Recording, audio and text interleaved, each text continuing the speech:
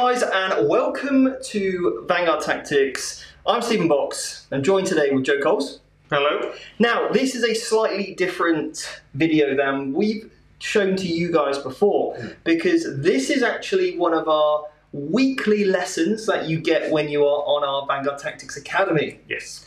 And this is what we call the Army List Clinic. Yeah. So what happens, guys? We're giving you, the public who love the Vanguard Tactics channel, a insight into what you get when you are part of the academy. But the reason why I'm showing you this is because we are doing a free Warhammer 40k Army List Masterclass on Saturday.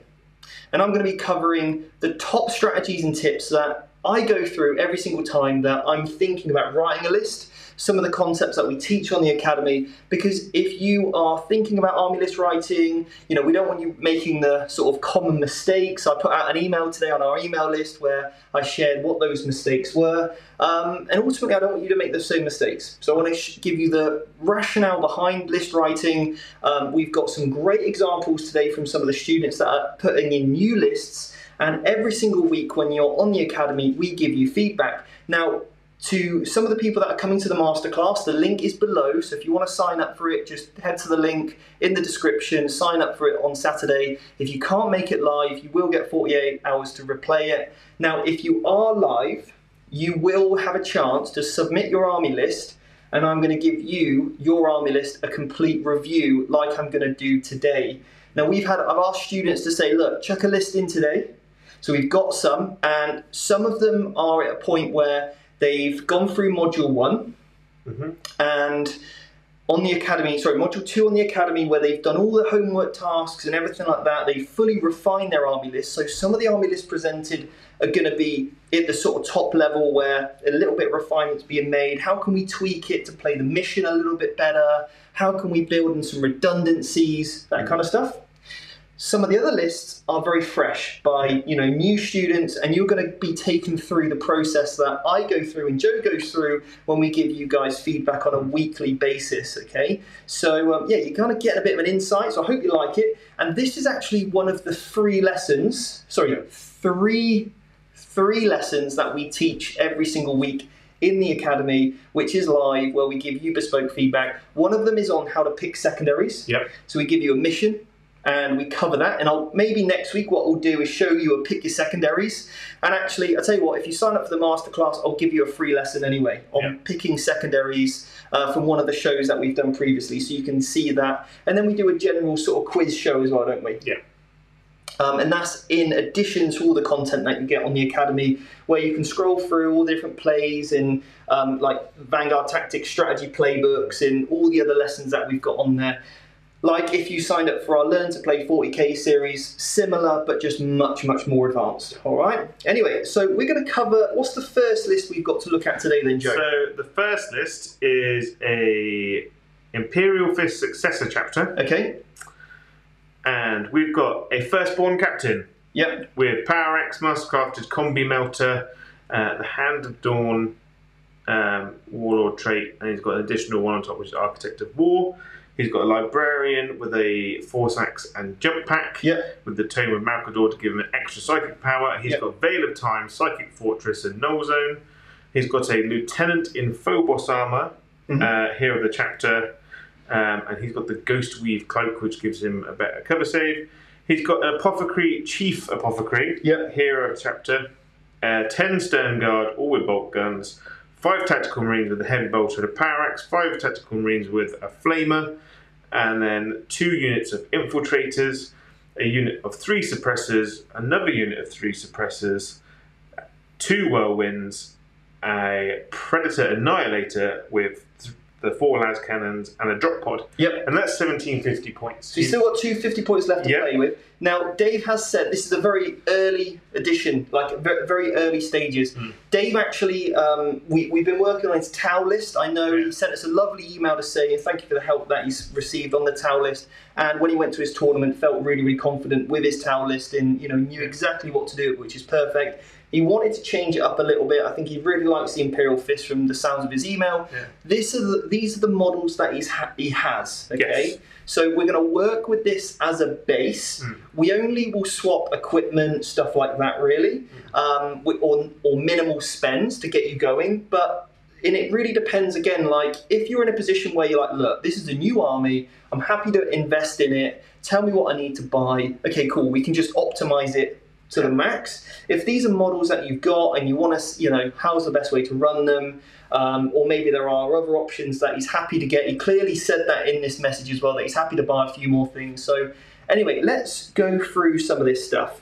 So, when we're talking about characters, let's really lean into one of the you know biggest characters in the Imperial Fist one, and that's obviously he's gone for the captain. Yep. Now, the only thing with this captain is the power axe. I feel like is a bit of a waste of points Mm. because you're either going to get this character into combat and really do something, and if that's going to be the case, you really want to make sure he can deliver, and that's with either a power fist or a thunderhammer, something that's going to give you some good damage output. But the way that the Imperial Fists fight, mainly long range warfare, good artillery, that kind of stuff. So we don't really need the weapons on him, okay? We don't need that heavy hitting so much. So really what we need to be looking at is what's a different type of character. So we either make him a chapter master, so we can Yeah. get a unit with full rerolls, a core unit, so that's an option what we could do. Or the option that I would like to see is Targaragon. Is that his name? Tor Whatever his name, yeah. Mr. Big Fist. Yeah. Okay. Now, the great thing about him is he, he acts as a captain, Yep. and in addition to that, this is the absolute beauty of it. And I double checked the FAQ, this hasn't changed. No. He gives a unit plus one to hit. Any unit plus one to hit. Yeah. Now, there was one unit in particular that I think is iconic for the Imperial Fists, Mm. and they've suffered massively because of the changes to the Space Marine Codex, and that is the Centurion Devastators. They are real good as fists still. Very good as fists, and also the other good thing about them is that they're just a unit. Hmm. They've got the infantry keyword, great, so they can walk through breachable terrain. They get all the benefits of cover, and also now you can just hit them, get them hit on twos. Yeah. Hitting on twos, you don't really need much more than that, to be honest. All right. Yes, you might not benefit from the re-rolls, but just getting those, you know, hitting on twos is fantastic. And you can play the stratagem for them to be in all doctrines. Yep. So if you're taking the heavy bolter variant, because Imperial Fists, it means that the heavy bolters become minus two, Yep. and then the uh, hurricane bolters are minus one. So you're See- getting a lot of minuses in there. I was actually thinking not taking the Hurricane Bolters. I'll go for the missiles. I was thinking missiles Mm-hmm.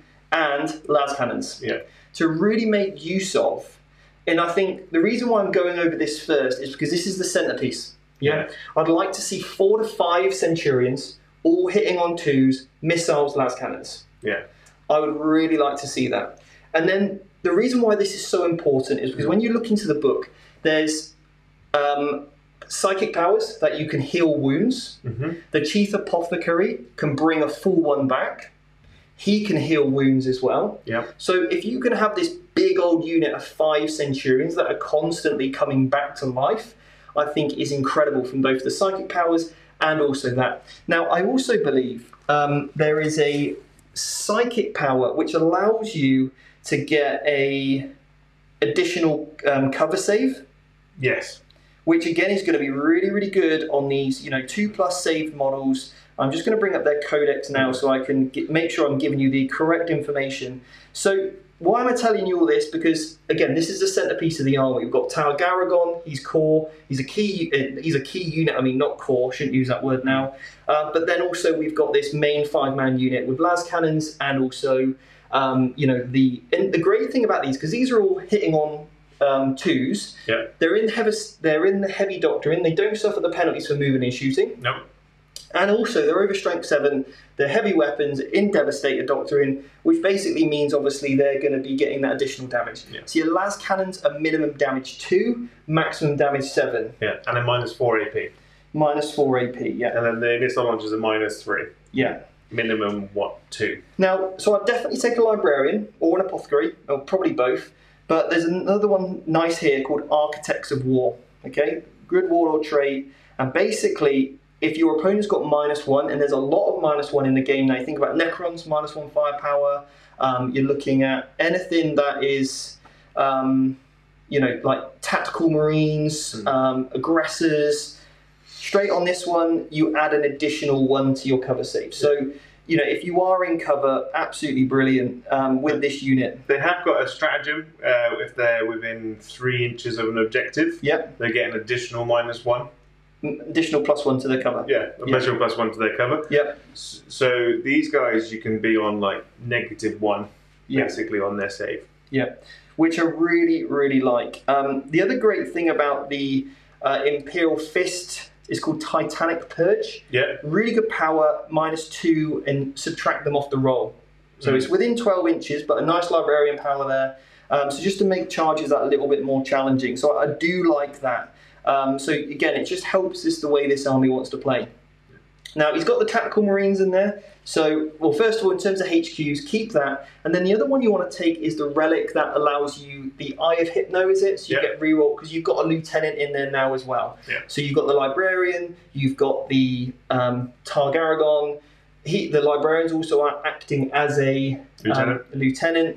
And it- depending on if you feel like you need the extra wounds, you could take the null zone option, um, the psychic the psychic fortress for the five plus invulnerable save. So if you've got some really good utility there, and a bit of play testing through different matchups will really help you know consolidate those. So again, when we talk about the masterclass, we're going to go over why you need to have absolutely everything in your list. Okay, so one of the things we're doing here is really leaning into the fact that we need to be over strength seven with heavy weapons. So we've got one core unit that does that exceptionally well, Yeah. and that is obviously a heavy support choice. Okay, then based on the units that we've already got, then we're going to use you know three units of tactical marines. Yeah, Yeah. great backfield holders.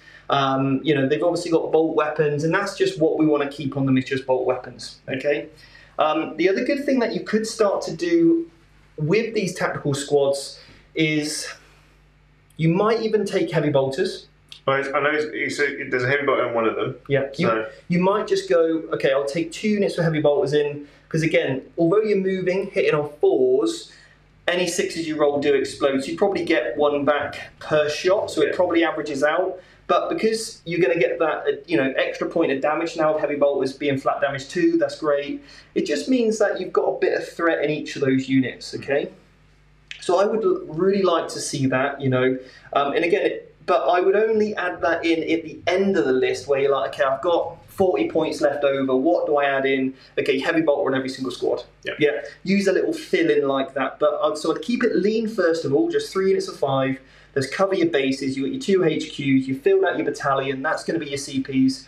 Um, and then in terms of the rest of the units, it, it sounds like you like suppressors. yeah, I wholeheartedly agree with that. Three units of those. Brilliant firebase. Absolutely brilliant. So, yeah, definitely take those. They're strength seven again. Devastator Doctrine. Yes, they're not bolt weapons, so they don't get the exploding, but they ignore cover. And that's one thing that's the suppressors, because they're only minus one.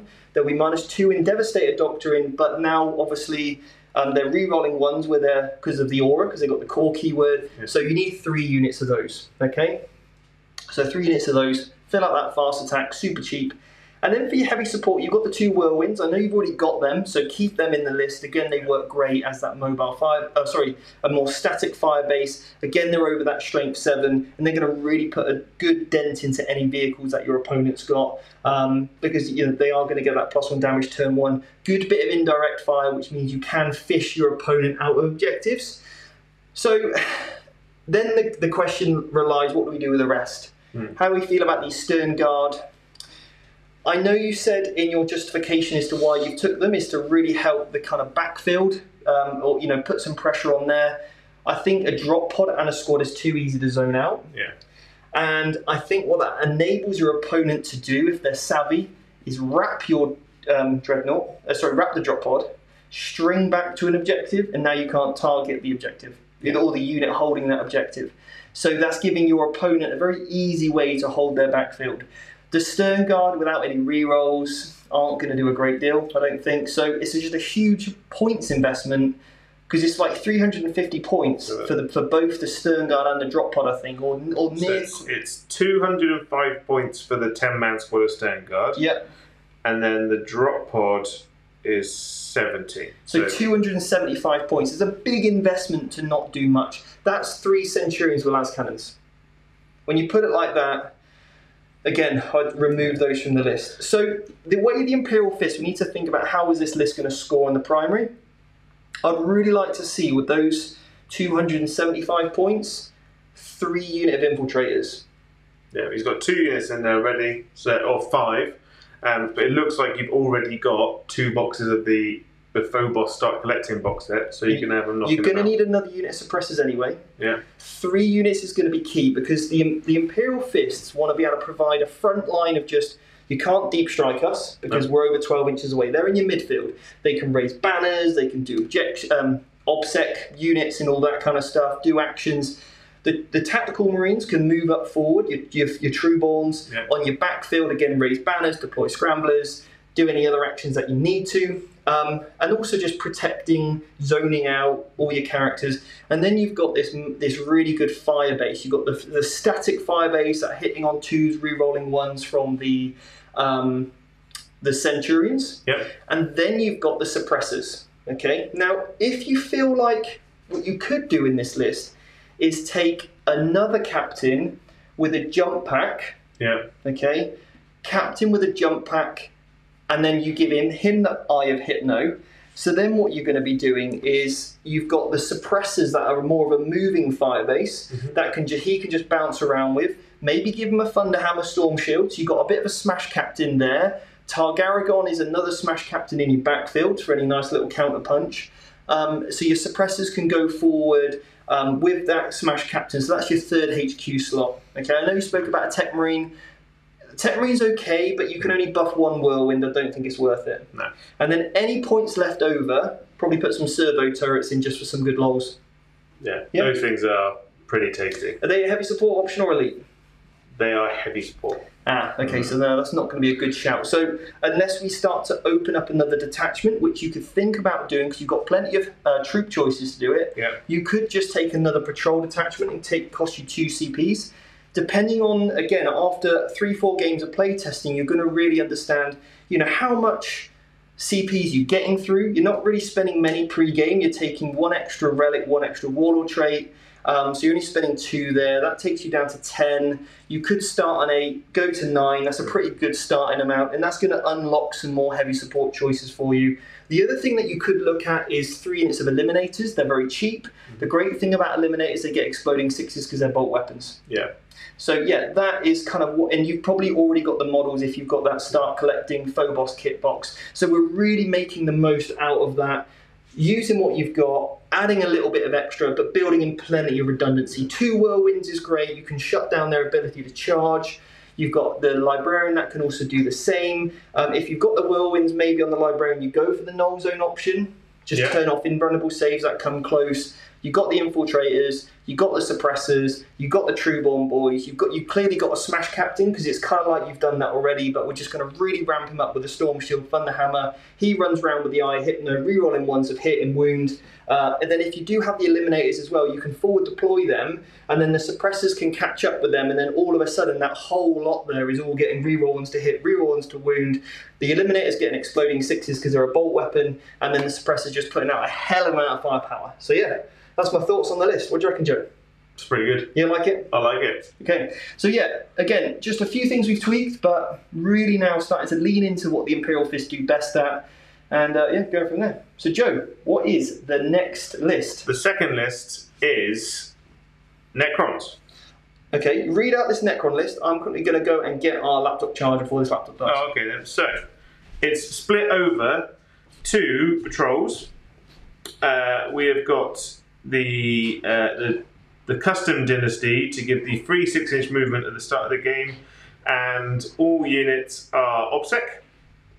We've got a command barge, a chronomancer that gives the uh, minus one to hit. Obviously, gives it a five up um, invulnerable save, and he's got the veil of darkness. A chronomancer, a technomancer, uh, so the, the um, all the scarab units, uh, get plus one to hit. Um, and then we've got another Lord with a Resorb. Then we've got two units of 20 warriors, a, a unit of six Lychguard, two Tomb Spiders, two units of six Tomb Blades, and two units of six Scarabs. Okay, so interesting one. Uh, I like the obsec element of the Necrons. Yeah. Now, again, if you've just joined us live, guys, we are doing a. This is a, a lesson that we give for all of our uh, students on the academy, and we're doing a free masterclass on Saturday, all about list building, how to look at lists, and how to then justify absolutely everything. Because knowing why you have something in your list is incredibly important. Mm. I put an out, I put out an email today all about people that copy net lists, right? Yeah. They copy it. They're like, oh, tweak it a bit but they don't understand why absolutely everything is in that list in the way it is, and all of a sudden it performs very differently. They don't get that success, um, and they're not really understanding the why. So, what we want to try and do on this masterclass is teach you what you need to be looking at, why you need to be looking at all those different choices. So, let's start to break this down. There's a lot in here to break down. Yeah. So, we can't probably cover absolutely everything with this, but let's cover some of the core things that. Um, you know, some of the rationale behind why we might take some of these units. So, one of the things you mentioned in there, so they're OBSEC and they get a free game move, yeah? Yeah. So the rationale behind this list is to get an early board presence, Yeah. to score very quickly on things like raise the banners, because you can do actions with the Necrons whilst they're That's it. within objective range and you can shoot and all that kind of stuff at the same time, which is brilliant because of the code. So that's great. Lots of small multi units, Mhm. which means all the units are OBSEC. Yeah. Okay, which is pretty clutch. However, there is a big however to this. The units of Scarabs, how many models are they? Six. How many units of six? Two. Two. The bases are large. Yeah.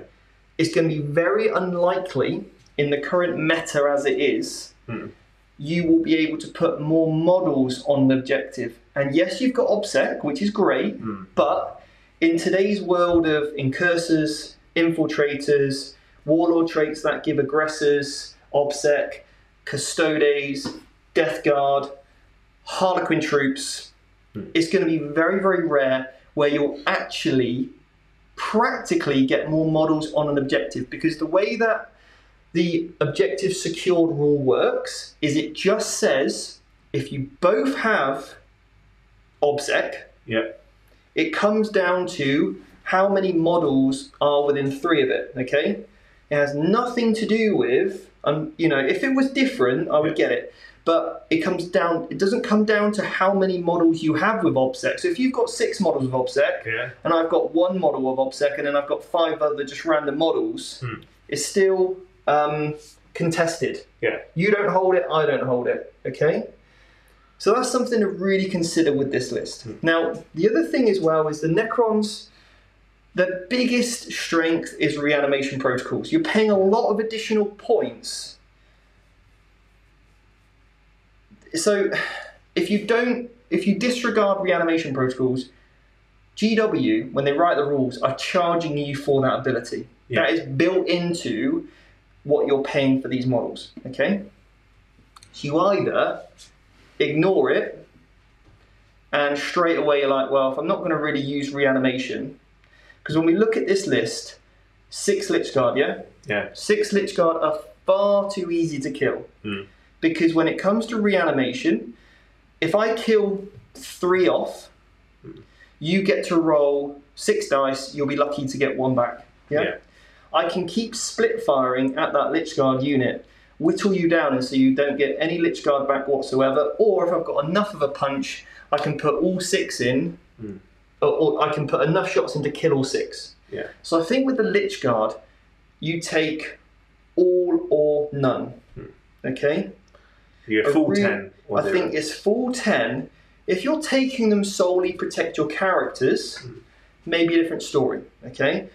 But you then need to hide them extremely well, and they're literally just going to stay in the middle of the table, behind a you know a wall or something, and your characters can kind of move because they've got a really unique rule which allows them to um, you know not get targeted if they're within three, right? No. So the Lychguard kind of overrule the lookout sir.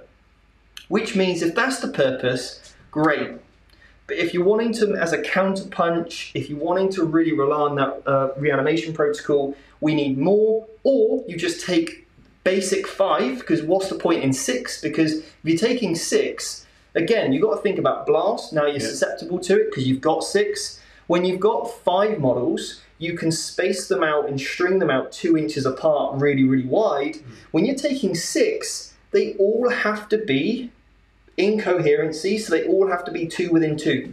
Yeah. So that makes that huge difference. You can't cover as much base.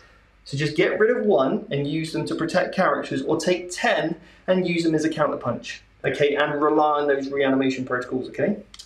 So after that, we've then got the. Um, oh, someone's quickly asked. Captain Brexit said, Am I able to put in a list?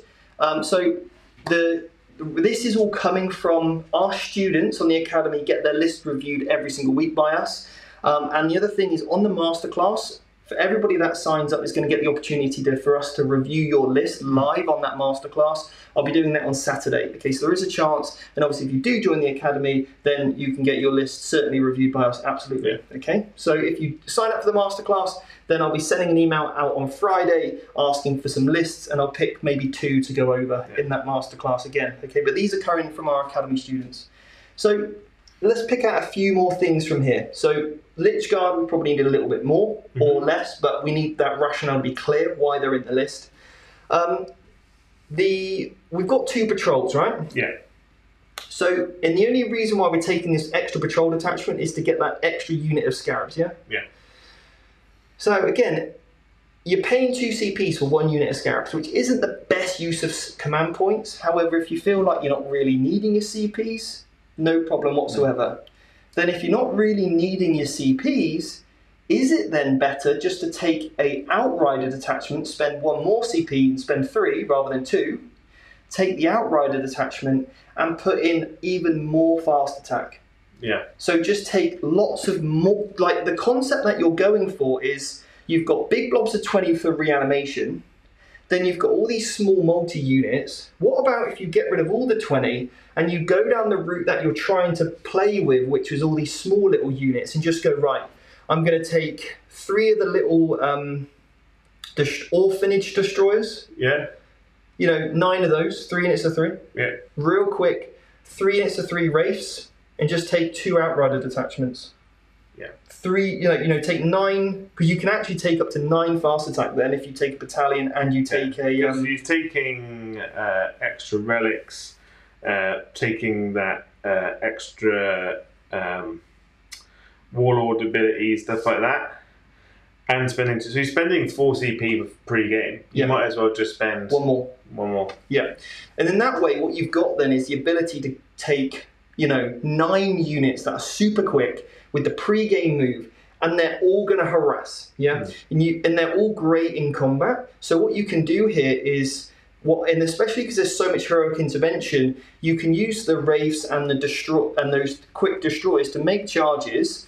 They'll sit in combat and take punches quite well. The scarabs can also charge, but what the scarabs are great at doing is basing. So you can charge in. So if they ever want to interrupt, what you can do, and this is a lesson that we teach on the academy, is when you should base and also how to get around the interrupt. Is you can use the scarabs to base your opponent, and you can charge in from one particular angle with the unit you don't want them to interrupt into. Keep a model within an inch, but the others are out. You obsec the objective. You then fight with one unit.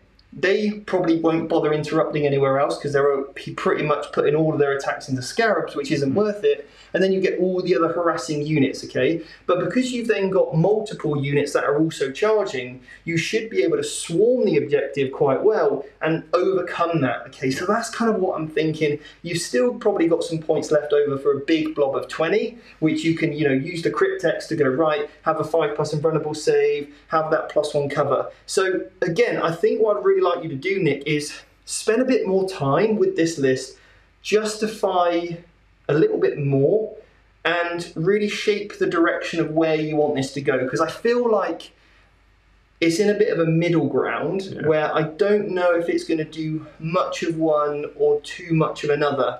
I think with from the play testing that I've done um, with you know the England team and the setup that we're doing with the Necrons, um, I feel like the list you've put together would fall apart quite quickly, and I like it's not going to out obsec Marines or Custodes or Death Guard, which are some of the key players at the moment. It's not going to out obsec Space Wolves or Blood Angels because because they can heroically intervene. They're just going to clear you off those objectives far too quick. Yes, turn one, you're going to score big, but then you're going to lose all your scarabs. And then your ability to score is sat now in a couple of 20 man units and a few characters sat at the back. And it only takes one unit of, I don't know, like six Inceptors, and they'll just delete one unit off. One unit of aggressors will delete a unit. Yesterday, when I was using the sisters, we, you know, one unit of Seraph, uh, Zeph, uh, the combat Sephirins from Sisters, Zephyrephrins, whatever they're called, they'll go in and completely clear a unit. One unit of Repentia clears off a unit of 20 warriors. Yeah. No problem whatsoever. So you either go, I think, full on warriors, full on reanimation, or you go, okay, cool, I'm going to go completely down the OBSEC route.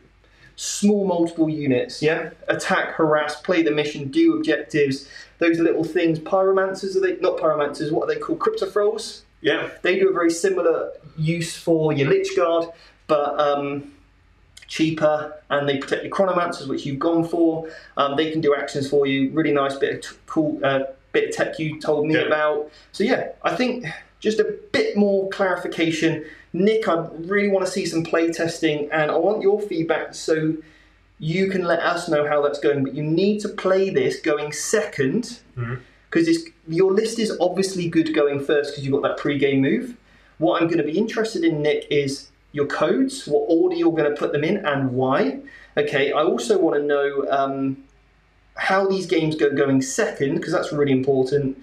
Um, and I want you to play against Death Guard, Marines, and also Custodes to see if the offset's worth it. Because if it's not worth it, you're better off going for more damage output or more survivability from some of the other um, like dynasties. Okay, because it might just be the OBSEC thing a bit of a gimmick. Yeah. So we'll see. Right then. Uh, so the third, the third list is Ian Wilson's list. Okay. Uh, duh, duh, duh. So just while Joe's getting that up, remember guys, if you want to come to the masterclass on Saturday, link is in the description below. Um, and if you would like to join the academy, then all the options are on our website as well. So this is one of the free lessons that you get, um, or not one of the free lessons, one of the lessons that you, one of the free lessons you get every single week when you are part of So the this academy. is Ian's list from the Pick Your Secondaries lesson that we Okay, did. we did this earlier. Yeah, so it's Logan Grimnar on Stormrider, a Yep. chaplain on a bike, three units of five Incursors, Yep. Wolf Guard with jump packs, uh, a five man squad uh, with Lightning Claws and Storm Shield, and a ten man squad with Thunder Hammers and Storm Shields, and three units of five thunderwolf Cav, uh, two times Thunder Hammer Storm Shield, and three Lightning Claws and Shields in each squad. Have we got old uh, big boy on Santa on his Yeah. Santa's in there. So, Marines, straight when you look at this Marine list, um, what I would like is an ability to take while we stand, we fight. Mm. And you're so close with it. So, when I'm looking at this list design, I'm thinking, how am I going to score secondary points? Okay. At the moment, um, when we think about the secondaries, things like raise the banners is situational because Mm. there's some missions you either have to go first or you're going to basically make sure you're on a mission that allows you to raise banners or if your opponent's got any pre-game move or infiltrators it's going to be really really difficult to do it. So banners is never a given okay? Engage in all fronts is probably a given with this list because you've got good mo- mobility. But so banners is optional so then, if you're not going to take banners, you've got to depl- take deploy scramblers, which are only going to ever give you 10 points. I never like to go into a game thinking I'm only going to get 10 points off this secondary. No. I like the option to max it personally, okay? So basically, what we want to make sure we're doing is if you take one more character and you drop down um, the sleigh to just a wolf lord, it could be anything. You've got one chaplain in there. Um, again, a librarian for an, maybe not null zone, but again, that's going to be situational where null zone could be absolutely incredible for you in certain matchups, like in Prophets of Flesh um, and all that kind of stuff, because you still get a two up save, don't you, with those um, Thunderwolf? Yeah. you- the Storm Shield, even if you turn off your invulnerable save, you're still on a two up. So something like Talos, which are minus two, you're going to get a four up save anyway. Yeah. with that's with the AP. So basically, what we want to make sure we're doing is librarian probably needs to go in there, or whatever the is it a priest, wolf priest? Uh, Um, yeah. That is certainly a really good shout, I think, to, to have in the list. Um, I think dropping out Mr. Santa on his sleigh because he is Yeah. over 16 wounds, he's too targetable. Bringing that down to another character means you've got three good characters that a while we stand we fight is definitely an option. Okay. Yeah. Um, Wilson has said, I like keeping abhor the witch, a, abhor the witch as an option. I wouldn't. While having while we stand we fight is a much better option in 80% of matchups. I would much rather choose something I know I'm going to get 80% of leverage out of rather than 20%. Okay? Because most people are taking single detachments now, you're only ever going to see one psyker averagely, and only once in a while will you ever come up against a Grey Knight or a Thousand Sun player. Yeah. So you're better off knowing that you can bank 15 points Yep. instead of five. Yeah. Um, exactly. No, I completely agree with that. Uh, Patrick has said, "Okay, I Facebook messaged my demon list. Can you tell me what you think?" Um, so, Patrick, if you want your list reviewed, um, we do that on the academy. So, if you're an academy student, um, pop it into the Army List Clinic every single week. And again, we do ask you to have done module two, where you go through all the justifications. So, we're really getting a good sense of that you're understanding where we're coming from. I'm going to be covering this on the masterclass, and two people that submit their lists who are coming to the masterclass and the email be sent out on Friday can get the potential to um, you know have that their army list reviewed from us. Okay, uh, I can't just do anybody's list, I suppose, because Yeah. well, we'd be here all day. Okay, so there has to, and obviously the academy students come first, as I'm sure you guys can appreciate. So. Yeah, while we stand, we fight. We need to have that as an option. Definitely think so. Um, you've obviously got the new one, which is uh, the new Space Marine one, where you can do two things, which I really like for Space Wolves, Mm. where you can kick somebody off an objective. Okay, so there's a Warlord trait that's in the Space Marine book, and I think you definitely need this is to make all of your a Thunderwolf cavalry Mm. obsec. Yeah. You put a war, uh, you put that on a chaplain, and or you put that on a um, wolf lord, whatever it might be, the lieutenant version, the battle leader on a on a wolf, on a bike, jump pack. It doesn't matter. Some sort of quick way to keep up with those cavalry means that you can go in, have the obsec keyword because that's key, Mhm. and then you can punch so hard you can clear your opponent off that objective. Yeah. Going second is really important when you take this secondary because it you score based on what they're holding at the start of the battle round. So what you need to do is if they're on an objective at the start of the battle round, that's the one you need to hit. So you're not going to get much turn one unless they've got infiltrators and they've pushed forward. But if they're on that objective, then you attack it, clear them off it in your turn, then you score it. If you're going first, you have to clear them off on the ones they're on. Then what you've got to do is survive a turn, so you still hold it at the end of the turn. Yeah. So if they come and claim it back off you at the start, at the end of that battle round, in their second half of the battle round, then you're not going to get it. Okay. Um, and then obviously oaths of moment, another you know good potential option because you don't really want to be falling back with the wolves. You know you're unlikely to fail a morale check, but you've got some good options there. But definitely having that while we stand we fight in play is a good option. So then you don't even need your opponent to have vehicles. You don't need them because you never want to be because your list cannot target characters very well.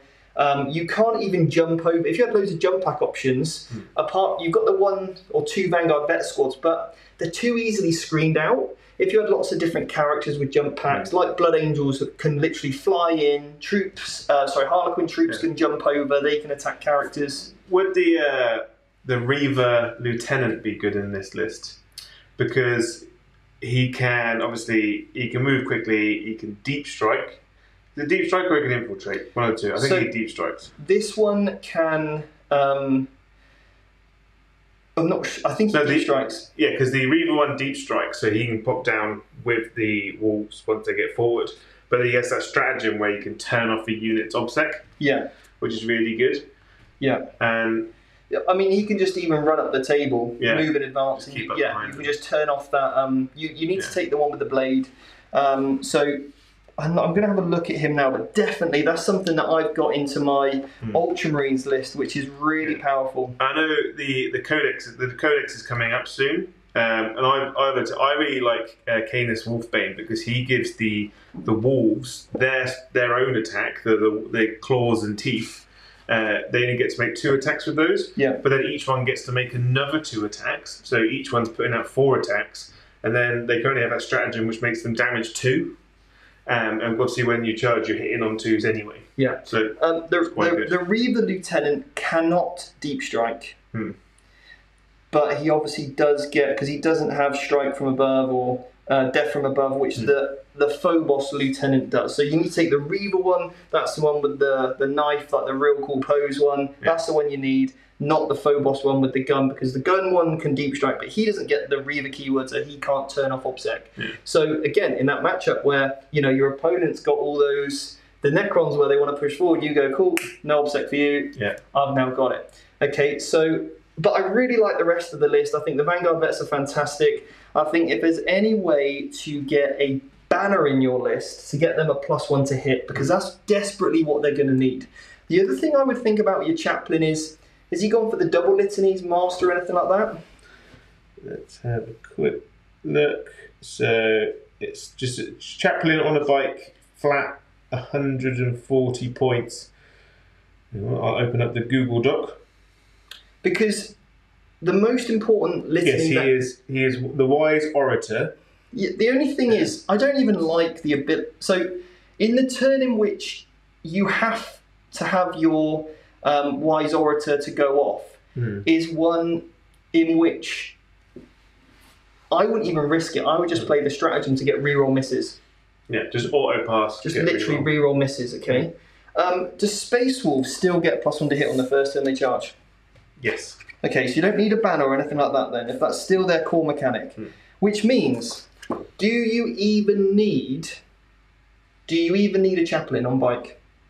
Because if you're getting plus one to hit and you're re-rolling ones from a lord, Hmm. are you better off with re-rolling ones to hit, re-rolling ones to wound from a lieutenant version and a librarian? They might be three that are better to go with than the chaplain on bike. Yeah. I mean, what a cool model, but still, we got to think about unless you desperately need the plus two to charge. But I think if you're relying on a plus two to charge, you've either tried to overextend yourself too early. Hmm.